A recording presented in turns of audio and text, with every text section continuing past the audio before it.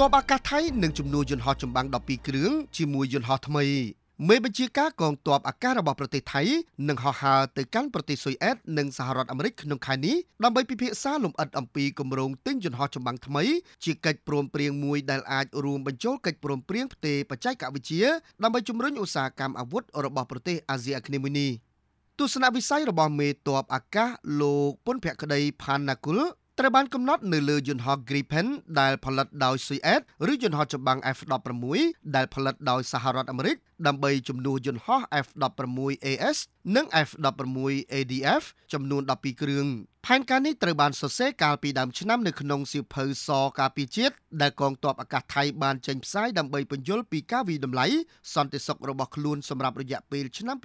2024ដល់ឆ្នាំ2037 ប្រពន្ធពីក្រសួងការពិជាតិបានទម្លាយដឹងថាកងទ័ពអាកាសកំពុងដុតដៃដុតជើងដើម្បីបញ្ចប់កិច្ចព្រមព្រៀងនេះឲ្យបានឆាប់តាមអ្វីដែលអាចធ្វើទៅបានដោយគណៈកម្មាធិការលទ្ធកម្មពិសេសដែលគ្រោងនឹងសម្រេចនៅក្នុងខែមិថុនាថាតើកងវរៈសេនាតូចណាទទួលបានភ្លើងខៀវផែនការទិញនេះកាន់តែបន្ទាន់បន្ទាប់ពីរាជធានីបាងកកត្រូវការយន្តហោះកាន់តែច្រើនដើម្បីល្បាតព្រំដែនភាគខាងលិចរបស់ប្រទេសថៃខណៈដែលសង្គ្រាមស៊ីវិលនៅក្នុងប្រទេសមីយ៉ាន់ម៉ាជិតខាងកាន់តែអាក្រក់ទៅអាក្រក់ទៅការអនុម័តរបស់គណៈរដ្ឋមន្ត្រីសម្រាប់ថវិកាពីថវិកាសម្រាប់ឆ្នាំសារពើពន្ធ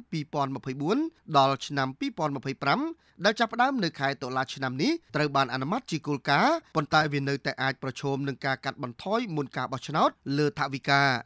ដំណាក់កាលទី1នៃការទិញយន្តហោះចំនួន4គ្រឿងចេញពីគម្រោង12គ្រឿងត្រូវបានគេប៉ាន់ប្រមាណថានឹងត្រូវចំណាយអស់19,000លានបាតឬក៏ស្មើនឹង517លានដុល្លារលក្ខខណ្ឌនៃកិច្ចព្រមព្រៀងទិញទទួលបានការគាំទ្ររួចហើយនៅក្នុងសភារបស់ប្រទេសថៃលោកវីរុចលាខាណាឌីសុន